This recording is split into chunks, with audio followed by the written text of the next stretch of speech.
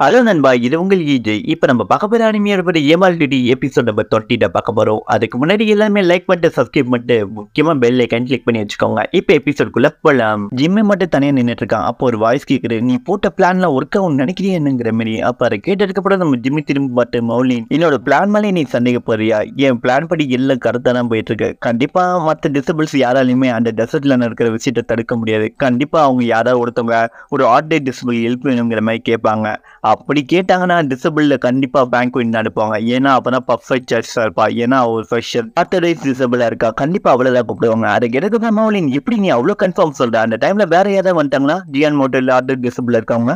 அதை கேட்ட ஜிம்மி சிரிச்சுக்கிட்டு என்ன சொல்றேன்னா நான் அதை பற்றி யோசிக்காம இருப்பேன் நினைக்கிறேன் மௌலின் நீ இதை பற்றி கவலைப்படுவ தேவையில்ல. அந்த மெசேஜ் அனுப்ப போறவ என்னோட ஆள் தான். அவன் கண்டிப்பா கரெக்டா மெசேஜ் அனுப்புவான். அதை கேட்ட மௌலின் நீ என்னடா சொல்லிட்டு இருக்க பிளான் பக்கவா போட்டிருக்கேன் அதை கேட்டு ஜிம்மி என்ன சொன்னா என் பிளான் பக்கவா இருக்க. அவளை முதல்ல அங்க வைக்கிறது என்னோட வேலை. அதுக்கப்புறம் நடக்கிறது எல்லாமே உன்னோட கையில தான் இருக்கு. அதை கேட்டதுக்கு மௌலி சிரிச்சுக்கிட்டு என்ன சொல்றேன்னா அவளை நீ அங்க வர மட்டும் வச்சுக்கோ. அதுக்கப்புறம் நடக்க போறதெல்லாம் நான் பாத்துக்கிறேன். அவளை சமாளிட்டு கஷ்டம் தான். இருந்தாலும் என்கிட்ட ஒரு பேக்கப் பிளான் இருக்கு. அது என் பின்னாடியே இருக்கு.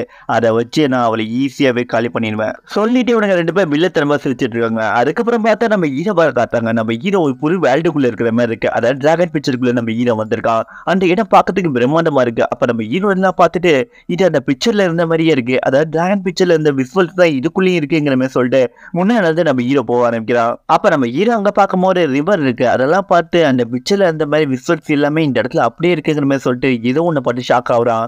அந்த இடத்துல அந்த லைட்னிங் இருக்கு அதாவது மிராக்கல் ரைட்னிங் ஸ்வாட் இதோட பேரு.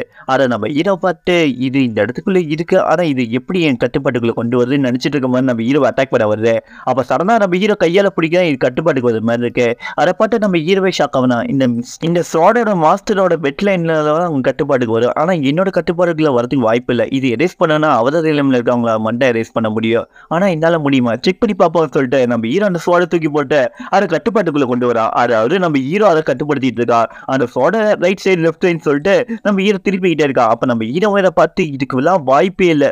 இதோட ஓல்டு மாஸே மறந்துட்டு இது என்னோட கட்டுப்பாட்டில் இருக்கு. இது எல்லாத்தையுமே டிராகன் பிக்சர் அதோட பெட் லைனை எரேஸ் பண்ணி என்னோட பெட் லைனை கனெக்ட் பண்ணியிருக்குங்கிற மாதிரி நம்ம ஹீரோ சொல்லிட்டு அதை யூஸ் பண்ணிட்டு இருக்கான். அதுக்கப்புறம் நம்ம ஹீரோ ரியல் வேர்ல்டுக்குள்ளே இருந்ததுக்கப்புறம் சால்ட் டைனிங் எடுக்க ஆரம்பிக்கிறான்.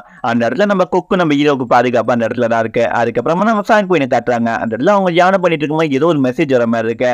அதை நம்ம ஃபேன் வாங்கி அதை படிச்சு படிக்க ஆரம்பிக்கிறாங்க. அதில் என்ன இருக்குன்னா அந்த டெசர்ட் ரொம்ப ஆபத்தான இடத்துல இருக்குது பாதுகாப்பு இல்லாமல் இருக்குது நீங்கள் கண்டிப்பாக போகணுங்கிற மாதிரி மெசேஜ் அனுப்பியிருக்கு. ஒரு மெசேஜ் மாதிரி வந்திருக்கு. அதை பார்த்ததுக்கப்புறம் அந்த டெசர்ட் ஆபத்தில் இருக்குங்க கண்டிப்பாக நான் போய் ஆகணுங்கிற மாதிரி கிளம்புறாங்க. அந்த இடத்துல நம்ம ஹீரோ வந்துட்டு இருக்கான். அதை பார்த்ததுக்கப்புறம் ஃபேங்குவின் குயின் இவன் இந்த இடத்துக்கு இருக்கு வராங்கிற மாதிரி பார்த்துட்டு இருக்காங்க.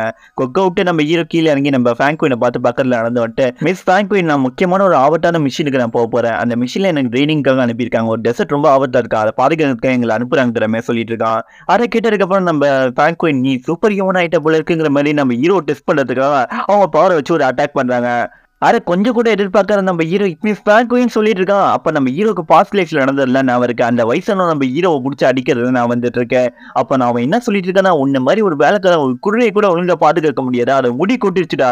அதை கேட்ட நம்ம ஹீரோ நான் அப்படிலாம் எதுவும் பண்ணல நான் எதுவுமே பண்ணல. அது தானா கொட்டிருக்கிற மாதிரி சொல்லிட்டு இருக்கான். இவனை பிடிச்சி அடி அடின்னு அடிச்சிட்டு இருக்காங்க அப்போ இந்த வயசு என்ன சொல்றேன்னா ஒரு குதிரையை கூட உன்னால ஒழுங்கா பாத்துக்க முடியல. எங்க ஃபேமிலி உன்னை சர்வட்டை வச்சுக்கலாம் ஒரு அவமானமான விஷயங்கிற மாதிரி சொல்லிட்டு நம்ம ஹீரோவை பிடிச்சி அடி அடின்னு அடிச்சிட்டு இருக்காங்க. அப்போ என்ன சொல்றாங்கன்னா பக்கத்துல இருக்கிறோம் செத்து போயிட போறான். இவனை மாதிரி ஆளுங்க செத்து போனா ஒரு பிரச்சனையும் இல்லை. நம்ம பாத்துக்கலாங்கிற மாதிரி சொல்லிட்டு இருக்காங்க அந்த வயசானவன். அதுக்கப்புறம் நம்ம ஹீரோ கண்ணை மூணு அதுக்கப்புறம் திடீர்னு கண்ணை ஓப்பன் பண்றா. அப்ப நம்ம ஹீரோ இன்னொரு இடத்துக்கு வர மாதிரி இருக்கு. இது எல்லாமே நம்ம ஹீரோட மெமரி தான். அந்த இடம் இந்த இடம் தான் பாய் கூட நம்ம ஹீரோ வந்திருப்போம் அந்த இடம் தான் அதை பார்த்ததுக்கப்புறம் நான் எப்படி திரும்பி இந்த இடத்துக்கு வந்தேங்கிற மாதிரி சொல்லியிருக்கான். பின்னாடி இதோ ஒன்று வர மாதிரி இருக்கு. அதை நோட் பண்ண நம்ம ஹீரோ திரும்பி பார்க்குறான். அந்த இடத்துல என்ன இருக்குன்னா கொடூரமான விஷம் உள்ள ஒரு நாகம் இருக்கு. அதை நம்ம ஹீரோ பார்த்து இந்த நாகம் இங்க என்ன பண்ணிட்டு இருக்கு அப்படின்னு நம்ம ஹீரோ பார்த்துட்டு இருக்கும்போது இன்னொரு நாகம் வருது. அது வந்து கிரீன் கலர்ல இருக்கு. அதை நம்ம ஹீரோ பார்த்துட்டு இது ஏதோ ஒரு எனக்கான டெஸ்ட் வச்ச மாதிரி தெரியுதுங்கிற மாதிரி நம்ம ஹீரோ யோசிச்சுட்டே பார்த்துட்டு இருக்கான். அப்ப அந்த நாகம் என்ன பண்ணுறா நம்ம ஹீரோ நோக்கி வர ஆரம்பிக்குது. அதை பார்த்து நம்ம ஹீரோ பயந்து அப்படியே பின்னாடியே போயிட்டு இருக்கான். அப்ப நம்ம ஹீரோ என்ன பண்ணலாங்கிற மாதிரி யோசிச்சுட்டு அவன் பவரை யூஸ் பண்ண ஆரம்பிக்கிறான் அந்த இடத்துல. இது எல்லாமே போய் இது என்னோட மென்டல் பிசிக்கல் செக் பண்ற இடங்கிற மாதிரி சொல்லிட்டு இந்த இடத்தையே மாற்றான் அப்ப அதுங்க எல்லாமே ஸ்டக் ஆகுது. தவிர அந்த இடமே வந்து ஃபேக்கான பிளேஸ் தான். அப்ப நம்ம ஹீரோ வந்து ஒரு விஸ்டுவல் வேலுக்குள்ள இருக்கான். அதை பார்த்த ஃபேக்வின் இவன் எப்படி இதை கிளியர் பண்ணா? மென்டிகல் பிசிக்கல் ரிலேம பற்றி யார் இவனுக்கு சொல்லி கொடுத்துருப்பாங்கிற மாதிரி யோசிச்சுட்டு நம்ம கொக்க பார்க்குறா கொக்கு திரும்பிக்கிது. அப்படியே கண்டுபிடிச்சிட்டாங்க ஃபேக்வின் இதுதான் கற்றுக் கொடுத்துருக்குன்னு. அந்த பாம்பை நம்ம ஹீரோ நோக்கி கொஞ்சம் கொஞ்சமா ஸ்டெக்கே ஸ்டெக்கே வந்துட்டு இருக்கு. அப்ப நம்ம ஹீரோ என்ன யோசிக்கிறேன்னா அந்த ஒண்டர்லேண்டே போய் இந்த பாம்பு பொய்யா இருக்குன்னு சொல்லிட்டு அதை அப்படியே மறைய வைக்க ட்ரை பண்ணுறான் அப்ப அந்த ஃபேக்வின் என்ன சொல்றாங்கன்னா உன்னை சாடை எடுத்து ஒன்று அட்டாக் பண்ணு. இல்லை ஒன்னு ஃபேக்கானது ஒன்று இன்னொன்னு ஒரிஜினல் ஒன்று அதை கேட்டதுக்கப்புறம் நம்ம ஹீரோ யோசிச்சுட்டு இருக்காங்க. இல்லை இது ஃபேக்காக இருக்கும் எது ஒரிஜினலாக இருக்குங்கிற மாதிரி அப்போ நம்ம ஹீரோ என்ன பண்றாரு? டேரக்டாக ஒன்று ஜம்ப் பண்ணான் அந்த இடத்துல ஒரு பாம்பு பயங்கரமாக ஒன்று அட்டாக் பண்ண அது ஃபேக்கான ஒன்று அதுக்கப்புறம் இன்னொரு பாம்பு வந்துட்டு இருக்கு நம்ம ஹீரோ அட்டாக் பண்ண. அந்த பாம்பு அப்படியே நம்ம ஹீரோ பவர் வச்சு கட்டுப்படுத்தி பிடிச்சிட்டு இதான் ரியல் ஒன்றுங்கிற மாதிரி சொல்கிறான் அந்த டெஸ்ட் நம்ம ஹீரோ பார்த்தனால நம்ம ஹீரோ ரியல் வேர்ல்டுக்கு வர வைக்கிறாங்க. நம்ம ஹீரோ முடியாத மாதிரி இருக்கான். அப்போ வேக்கு என்ன சொல்கிறாங்கன்னா நான் எக்ஸ்பெக்டே பண்ணல. இந்த கொக்கு உனக்கு மென்டல் பிசிக்கல் ரிலேமோட கட்டுப்பாட்டுக்குள்ளே கொண்டு வரதுக்கு டெக்னிக் சொல்லிக் கொடுக்கும் நான் நினச்சி கூட பார்க்கல. இருந்தாலும் நீ சூப்பர் எமோனா வந்து இம்ப்ரூவ்மெண்ட் நிறையவே இருக்கு ஒரிஜினல் எதுன்னு உன்னால பாம்பு இறங்கி ஈஸியாக கண்டுபிடிக்கிறது? உண்மையிலே டேலண்ட் டேலண்ட்ஃபுல்லான ஆள் தான் அப்போ நம்ம ஹீரோ என்னமோ சொல்ல வர மிஸ் ஃப்ராங்க்வின் அப்போ அவங்க பாக்க நம்ம ஹீரோ பக்கத்தில் வந்துட்டு என்ன இந்த உலகத்தில் இருக்க எல்லாருக்கும் ஒரு சீக்ரெட் இருக்கும். அது என்னன்னு சொல்லாத வரையும் நீ சேஃபாக இருக்க முடியுங்கிற மாதிரி சொல்லிட்டு முன்னாடி நடந்து போகிறாங்க அப்போ நம்ம ஹீரோ டாக்கி சொல்கிறான் அப்போ ஃப்ராங்க்வின் முன்னாடி போயிட்டு நீ ஒரு விஷயத்தை மட்டும் மறந்தாத நீ அந்த டெசர்ட்டுக்கு போக போகிறதுல அது ரொம்ப டேஞ்சரான மிஷினாக இருக்கும். அந்த மிஷினில் உனக்கு என்ன வேணால் நடக்கலாம். ரொம்ப ரிஸ்க் எடுக்காத. இந்த விஷயத்துல நீ உன் வீரை பாதுகாக்கிறது முக்கியமான விஷயம்.